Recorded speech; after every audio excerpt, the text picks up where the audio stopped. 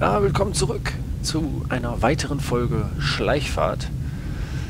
Ist ein bisschen was her, seitdem ich aufgenommen habe, aber ich will auch gar nicht so lange da rumschwafeln. Und zwar möchte ich gleich starten. Jetzt lädt er ein bisschen von der CD, die Sounds. Ich weiß gar nicht, was für Ziele haben wir. Schon ewig nicht mehr angepackt hier, ein paar Monate. Docke an der Star of Bengalian. Hört sich einfach an. Schauen aber mal, wie unser Schiff aussieht.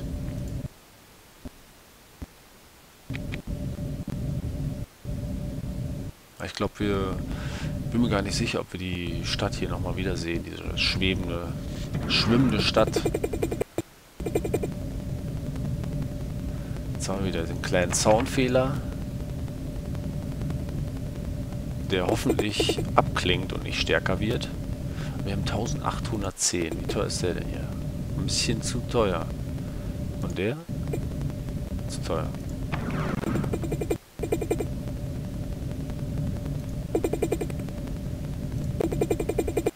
Ich kenne die Steuerung gar nicht mehr, verdammt. ah, finden wir wohl raus.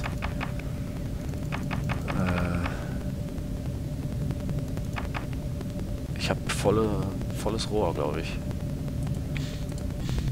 So, äh, ja, verdammte Soundfehler. Hm.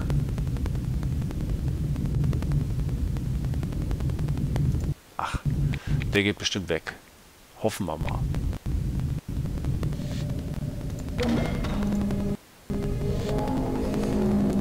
Äh, Star of Bengalia.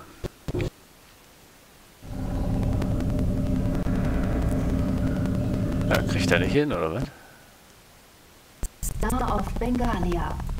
Wachter unter Yala Rangoon. Ja, ja, la la la la. Ja, dann muss ich nochmal hier einen kleinen Cut machen. Sowas hasse ich. Äh, ich hasse nichts. Ich mag es nur nicht. also dann, äh, in bis in einer Sekunde. Da sind wir wieder und es hört sich besser an. Ja doch. Auf in den Mannschaftsraum. Yalla, Rangoon.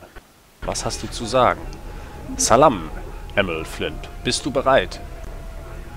Eise oder? Ähm, nein, noch nicht. Doch, ich bin bereit.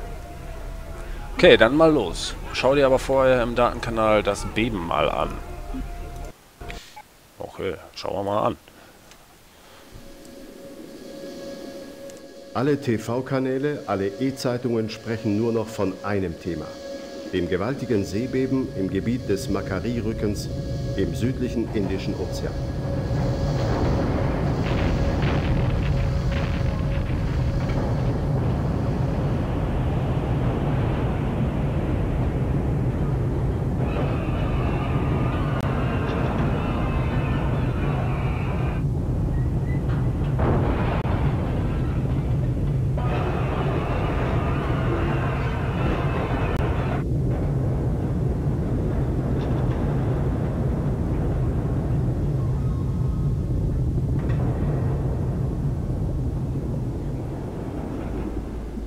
Erste Meldungen berichten von über 1000 Toten.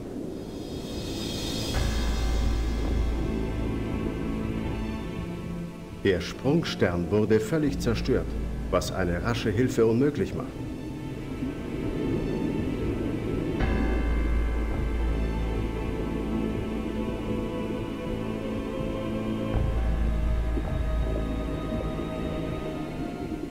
Was aber das Seltsamste ist, Weder die ausgeklügelten Vorwarnsysteme konnten die Katastrophe vorhersagen, noch gab es die typischen Nachbeben. Manche Skandalsender berichten sogar, dass seltsame Objekte gesichtet wurden, die nur und ausschließlich von der Erdoberfläche kommen könnten und die die ganze Station mit einer Riesenbombe zerstört hätten. Lachhafte Mythen. Ich glaube an diesen Mist nicht. Die Oberfläche ist tot und dort wird nie mehr etwas Lebendiges zu uns herabkommen. Und wir werden nie wieder dort hochgehen.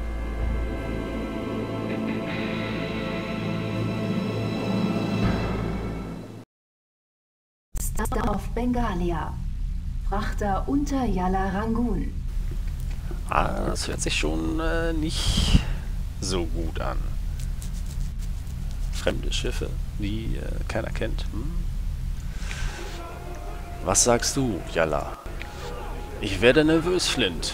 Ist mir zu ruhig da draußen. Hm, ich kenne diese Ruhe. Ich habe sie auf vielen Schlachtfeldern erlebt. Genau das ist es. Die Ruhe der Gräber. Wir werden viele Tote finden in den Ayanta-Stationen. Ja, aber da ist noch etwas anderes. Am besten du fährst mal eine Runde Patrouille. Ei, würde ich, würde mich nicht wundern, wenn da draußen Plünderer unterwegs wären. Mich auch nicht. Unseren Hilfsgütern darf nichts passieren. Alles klar. Patrouille fahren. Also er scheint wohl an diese fremden Schiffe zu glauben. Ob die jetzt von der Erdoberfläche kommen oder nicht. Wird sich zeigen, wenn es sie denn gibt. Auf zum äh, U-Boot. Es ist merkwürdig ruhig da draußen. Um kein Risiko einzugehen, äh, wegen der zu erwartenden Plünderer, aber auch wegen der Gerüchte von schwarzen Booten, sollst, sollst du und ein Begleiter, Begleiter Patrouille fahren. Ihr werdet dazu nacheinander verschiedene NAV-Punkte anfahren. Zuerst geht's nach NAV B. Aha, und er kriegt NAV A oder wie? Ich will NAV A haben. So, mal eben die Katze hier reinlassen. Die nerven auch. Auf geht's! Wie geht das nochmal? Hier, achso. Äh. Sonar bereit. Alles klar. NAV B. Wo ist denn NAV B? Da. Fahren wir doch mal hin, ma? So, äh, fahre zuerst NAV B. Ja, alles klar. Ich fahre da hin. Also, das ist mein Begleiter anscheinend.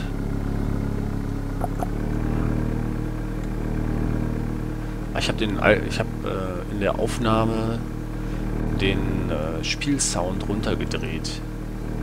Ich hoffe, so kann man mich äh, besser verstehen. Wir haben hier merkwürdige Ortung äh, Navigationspunkt erreicht. Dann fahren wir mal dahin. Seht euch das mal an. Oh, mal gucken hier.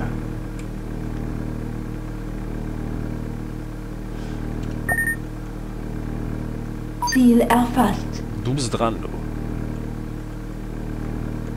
Ist paralysiert. Warum? Scheiße. Ziel identifiziert. Was hat er für ein Biest? Ah. Hinterher. Ziel verloren. Was? Wie schnell ist das?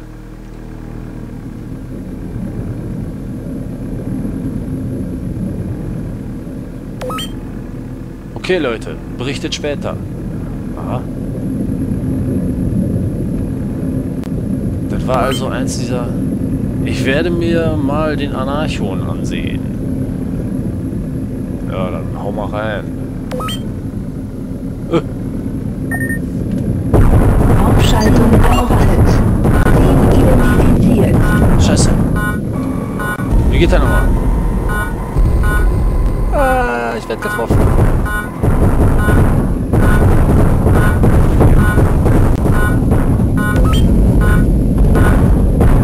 Scheiße, bin ich beschädigt.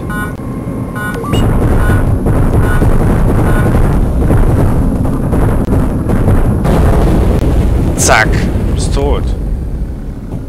So geht er. Achtung, Torpedo. Oh, ich habe keinen Buzzer mehr. Scheiße. Nein, der trifft mich von links. Nein, nein, von hinten.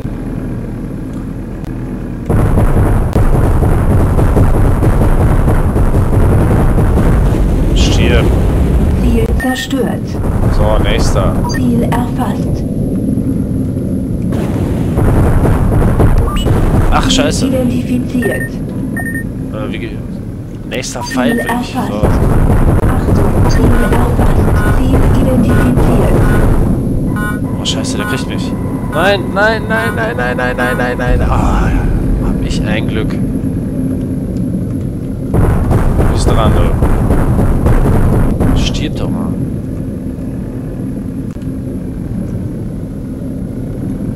Er ist genau über mir, der Penner.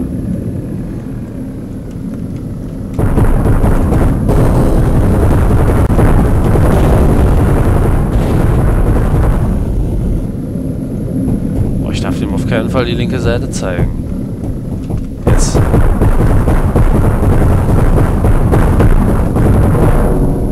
Stirb. So. Ziel So, wie geht das nochmal mit dem Tour, mit der Turmunterstützung? Das will ich jetzt wissen. Ah, ja, ja, schön. So, was, was sagt er? Wir werden angegriffen. Kommen sofort zurück nach NAF A. So, wo ist NAF A? Hinter mir. Scheiße. Schneller. Schneller. Ich kann noch äh, so gut wie keinen Kampf mehr überstehen.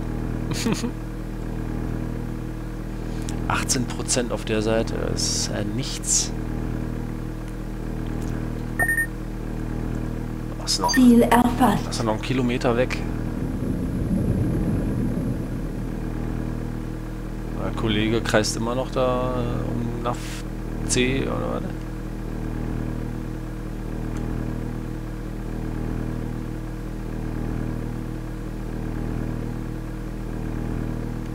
So, noch 500 Meter.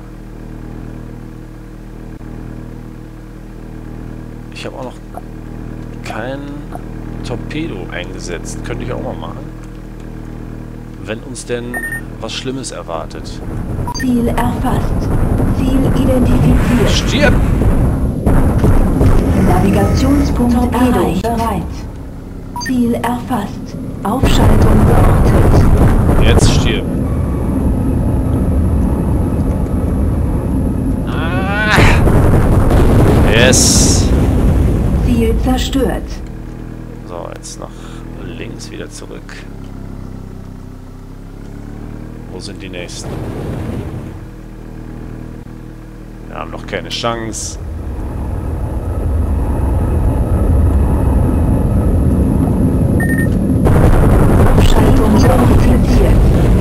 Ziel zerstört. Weggeballert. Zwei Angreifer sind in Richtung D geflogen. Geflohen, so. Die packe ich mir, du. Wie wechsle ich denn nochmal hier? Ah, den will ich haben. Torpedo bereit. Ich wollte schon Tab drücken, aber ist mir eingefallen, oh scheiße, damit schieße ich den ab. Da. Ne, den anderen, der, der ist auch böse. Achtung, Oh scheiße, die ballern mich weg. Nein, nein, nein, nein, nein, nein! Ziel zerstört. Oh, vor mir! Oh.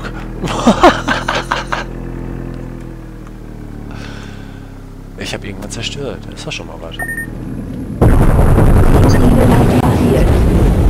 Ziel zerstört. So.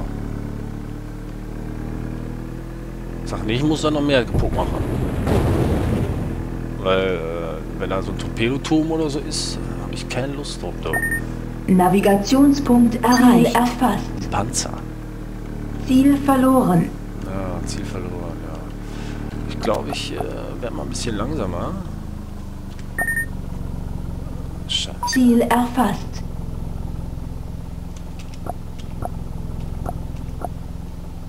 Du, kommt der so weit?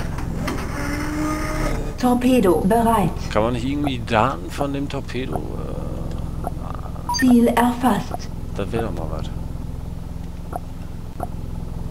Ich bin mir nicht sicher. Der ist 242 Meter entfernt. Und mein Big Bang, der äh, hat es nicht so mit Geschwindigkeit.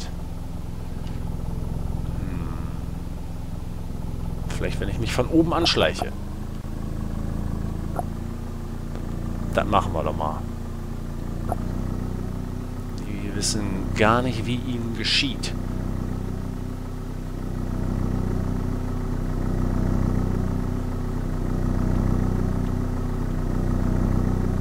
Heißt ja nicht umsonst Schleichfahrt, ne? Bin zwar laut, aber sehen tut er mich, glaube ich, nee. So, 108 Meter, ein bisschen können wir noch.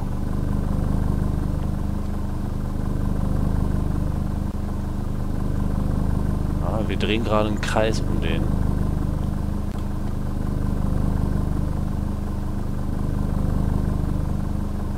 Schließen wir den Kreis ein bisschen.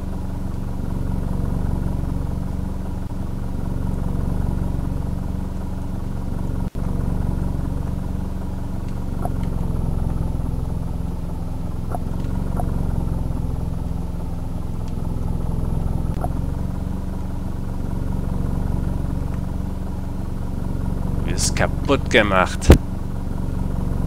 Kann keiner was dran machen, auch der Panzer da unten nicht. So, jetzt kommen wir zur Kante. Weiter dürfen wir nicht. Und jetzt schieße ich den so ab, damit er die Kante nicht trifft. Torpedo bereit. Triff! Ja, ja! Ziel erfasst. Ja, ja! Ja, ja! Komm! Ja! Ist doch schon mal ein Anfang. Ziel zerstört. Das war's. Er hat versucht mit drei Torpedos den noch äh, klein zu machen. Ziel erfasst. Ah, verloren. jetzt noch den Panzer. Torpedo bereit. Zwei Panzer. Ziel erfasst. Gucken, ob der trifft. Torpedo bereit. Ziel erfasst. Ja, sieht schlecht aus. Hm.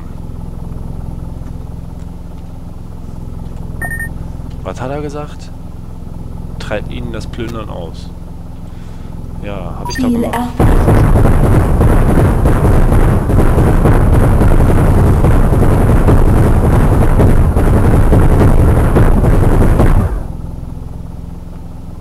Ziel zerstört. So. Hätte ich auch vorher machen können. Ziel erfasst.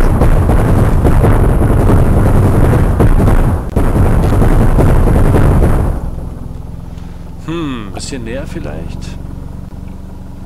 Big Bang könnte die knacken.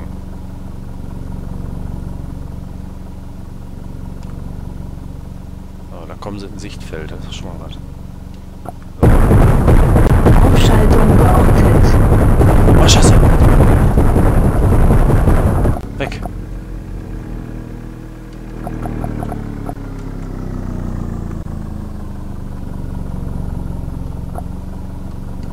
Naja, ich habe immerhin schon ein bisschen abgezogen.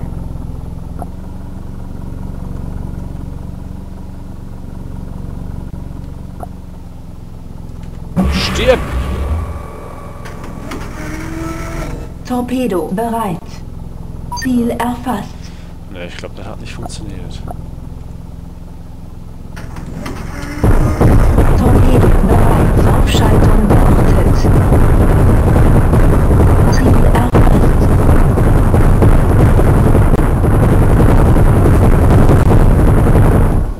Zerstört. Das war schon mal was. Jetzt fehlt noch einer.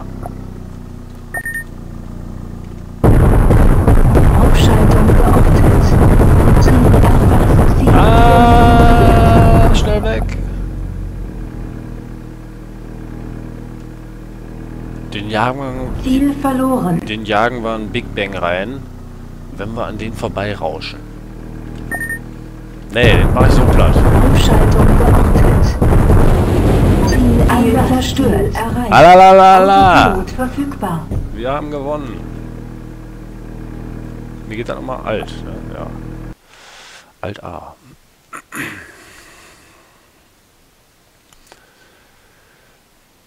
Sieg. Ach so, Die Filmchen. Star of Bengalia gab ihr Bestes. Nach dem Zwischenfall mit dem fremdartigen Kreuzer war jede Minute kostbar, um den Opfern des schrecklichen Seebebens Hilfe zukommen zu lassen. Aber was war geschehen? Niemand auf der Star of Bengalia hatte jemals so ein Schiff gesehen. Als es direkt über uns war, hörten wir nichts, außer einem mächtigen Vibrieren. Unsere gesamte Elektronik wurde stillgelegt. als wären wir in das Innere eines berggroßen Magneten gefahren. Chung Lung hatte von dem Bösen aus den Tiefen gesprochen. Mir wurde klar, dass sie das hier damit gemeint haben musste. Denn es war nichts, was ich je gesehen hatte. Es war etwas völlig Fremdes. Und es war sicherlich nicht gekommen, um das Evangelium des Friedens zu verkünden. Das kannst du wohl laut sagen. Yala. Die wollen bestimmt nichts Gutes. So, wir gucken jetzt nochmal, was äh, Yalla sagt. Flint, das war eines der rätselhaften schwarzen Boote. Wir können noch nicht einmal raus und es untersuchen. Hi, Captain Ragoon. Äh, das Ding ist riesig. Und es hat unsere ganze Elektronik lahmgelegt. Es scheint über eine Art elektromagnetische Schockwaffe zu verfügen. Vielleicht ist es aber auch nur sein, äh, sein enorm starkes Energiefeld. Wenigstens hat, uns, hat es uns nicht angegriffen. Die Elektronik funktioniert wieder. Wir sind da. Der äh, Macquarie-Rücken. Die Stationen sehen ganz schön mitgenommen aus. Soll ich gleich mit einer Eskorte für den Transport von Versorgungsgütern weitermachen? Ja, du bewachst eine Lieferung mit flüssigem Atemgas für die Station Ayanta 1 und 2. Aber deine wichtigste Aufgabe ist Abwehr von Angriffen der schwarzen Boote. Weißt du, sollen sie nur kommen. Und ich kann sauer werden. Äh, kannst du mal sagen, ne? Aber das äh, sehen wir dann in der nächsten Folge. Ciao.